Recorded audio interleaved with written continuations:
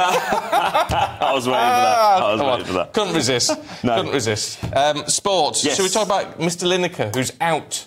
Yeah, He's on his way out. Well, we don't know. We don't know. I mean, He's look, going, he's I'll gonna tweet I'll about give you it. Some, I'll give you some uh, some context. Earlier in the week, the Mail Online claimed to have seen an email leaked from the BBC that, that he was going to be out. It was from the head of uh, head of the BBC Sport as well, Alex Kay-Jelski, and they have since said, or they said quite quickly, to be fair, they couldn't verify how true the email was. So there was not a context to the denial, though. No, it's, it's not. But no, this is this is from the Mail on Sunday. Sorry. So look, lots of lots of conjecture began over the next sort of 48 hours or so whether he should stay. Lots of debate starting. Should he go?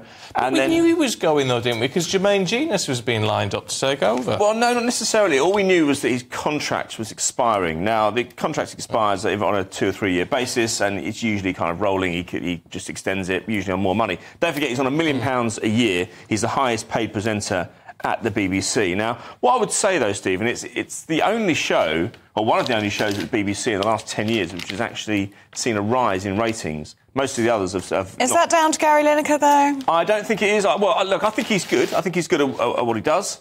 Um, the tragedy of all the stuff about you know his, his venture into politics in the last three or four years is that nobody remembers, especially the younger generation, just how good a footballer he was. He was a magnificent England player. He dug us out of so many holes down the years, and nobody really talks about that. They just see him as a kind of presenter. I know the guy who trained him, a guy called uh, Brian Barwick, and he always said to me that Gary Lineker loves the live element of broadcasting. Now, Match of the Day is is live, yes, it is, but it's not the same as as live football, an England No, match no, no. or a Champions League game. He's got plenty of other irons in the fire. I mean, he's 63 years old, so he can't go on forever. He's been Is at he 20 really? He is. 25 years he's been at Match of the Day. Now, you'll remember Des Lynam. Yeah. And I, I thought he was a, a, a class a, a class act, actually, but.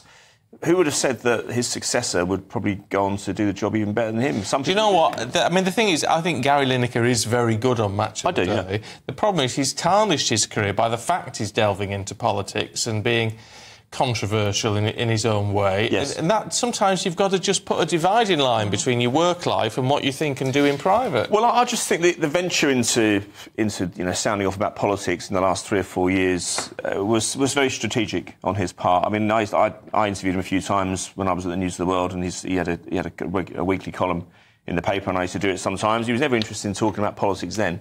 And we had a huge reach. That was his opportunity to do it. And I think that it was a bid to stay relevant. I know it's a horrible cliche, but I do think that he did it to kind of, you know, he saw a lot of his contemporaries of the last five, ten years dispense with and cast aside. I just thought he, he may, maybe felt the need to diversify a little bit to get himself into more, more into the public eye, which you shouldn't really need to do with, with Match of the Day. They do attract a view. viewing Stick to the figures day of, job. of millions. yeah, exactly. That's, that's true. That's, that's possible. But listen, uh, we'll see. I mean, at the end of, we'll know at the end, end of the year. I don't think they'll enter negotiations until about January anyway. To be honest with you. Well, Let's move on to uh, the top stories of the day. We're delighted to be joined by author and broadcaster Jenny Trent Hughes and former Apprentice star Trey Lowe. Good morning to you both. Thank you for returning. Good morning. So many good stories doing the rounds today in the papers. Uh, what about Gary Lineker? So there was this, if you're not familiar at home, there was this leaked letter doing the rounds a few days ago. Gary Lineker's last show, apparently, according to BBC bosses, was meant to be tonight on the last episode of Match of the Day.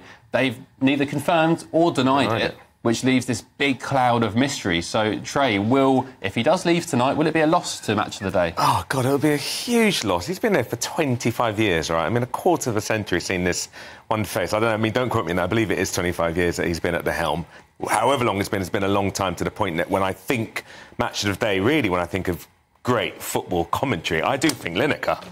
Even though, I mean, he was a Spurs man for a while and I'm a gooner. Who do but you support, Trey? I'm a gooner. Yes. Through and through. Oh, Gooner. yes. Good man. Goon, that's what I like. And you, Gooners Jenny? everywhere. I'm singled yes, out. indeed. I'm singled out on the sofa. A, seat, a sofa full of Who, Arsenal who do you support? Man United. Uh, United. whatever, You're a bit terrible at the moment. But I, I- I think it's.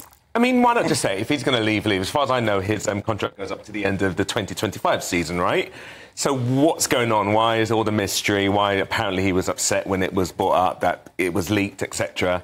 Tell us if you're going to leave, leave, because I'm going to be interested on who is actually going to fill those boots. Do we think that it was sort of not a long time coming, but all the controversy we were talking about um, Israel and the Middle East conflict, and he's weighed in on things such as that? Is this something that we saw being inevitable, Jenny? I, I think so because I think that he's become, over the past couple of years, more socially conscious, more politically active, and they keep trying to, clip his wings. Hmm. And at this stage, at this stage of the game, he doesn't need any more fame.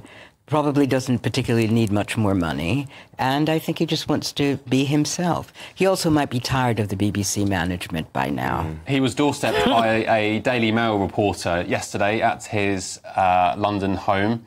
And do you know what he said? What did he say? He said, F off. Way to go! Short and sweet.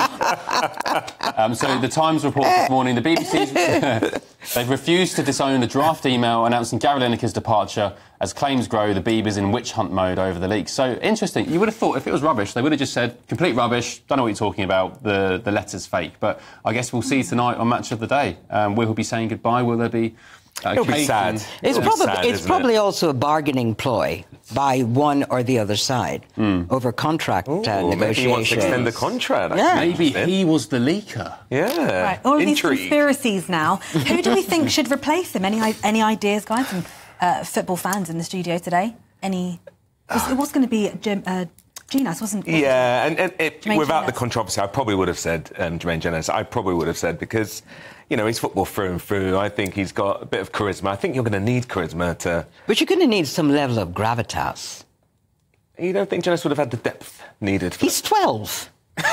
Well, If he's 12, I know. Oh, mate. God, I should get my winter I'm not- fuel I'm nine allowance at my week. age. He needs to have silver hair and be sexy, whoever it is. Silver Yeah, I mean the other guy that does match of the day too, um, Mark Chapman. Yeah, I think he would be a, a He- safe, safe pair of hands. He's the favourite to be uh, Lineker's replacement. I just think if you're going to tune into Match of the Day, you're just there for the football, really. I don't care who presents it. You could get somebody on 100k a year and Oh, save I the do. licence fee payers. Now, don't you think it makes yeah. a difference though who presents it? Yeah, presents I it? Makes a difference when You do. remember like Yeah. Des Lynam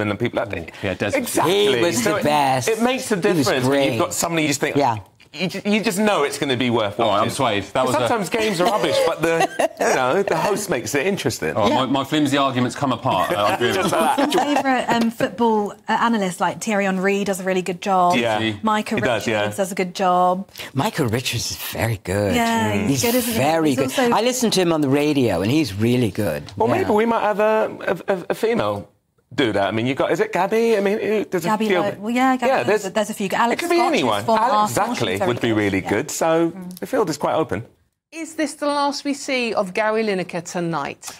No, Dawn, it, it won't be. I mean, look, let's let's take let's take it. Well, let's strip it back to the start of the week. There was a, an email in the Mail, on, Mail Online, and mm-hmm. they said that it, it, well, it claimed that they'd seen an email that this was going to be his last show. Now they can't verify whether this email is actually uh, true, accurate. So the BBC, though, were moved to make a statement yesterday saying we have nothing to announce. Now the context of this is that.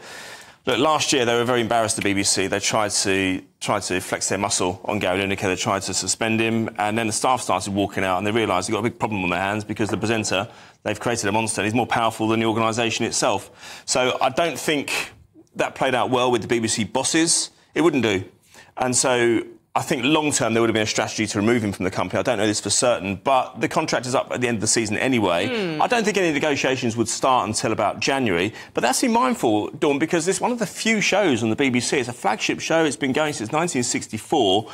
It's one of the few programmes actually has increased their ratings over the last 10, 15 years or so. But the general trajectory has been down for the rest of the, the, the programming in common with lots of TV. It's interesting. The BBC haven't disowned the email that has leaked, has it? They haven't No. said no, no, no. It's just completely fake. It's nothing to do with us. They haven't said that. No, they haven't. Instead, they've, they've launched a witch hunt for the person that leaked the email. So Yeah, exactly exactly. fighting their corner. No, but I mean, it's, it looks to me as if it was if it was a genuine email sent from a BBC account. Uh, I think there were. I'm not going to say the name, but I think somebody I know was was involved in it. So it tells me that it was quite quite um, think I know quite, quite genuine. yeah. Mhm. But having said that, you know, they have to be careful. He's popular. He's popular, and I think they have to manage any departure. Yeah, he's popular among. among um, I mean, look, people don't tune into Match Today because of Gary Lineker. It's a bit like when you sell your house. It's it's the it's not it's not the estate agent that sells your house. It's the location. It's the decorative order. That kind of stuff. It's the football that sells the show. And Gary Lineker is part of that. The tragedy of all this strategic venture into politics over the last four or five years is that everyone's forgotten what a fantastic footballer he was for England. Yeah. There are lots of younger people who don't even know that he was he, he was one of England's top players. He was an England, he's the record goal scorer for a time. How many times? Do you remember how many times did he dig us out of a hole at World Oh, Cups? God, yeah, no, I at. World I- Cups I- and Euro qualifiers. Great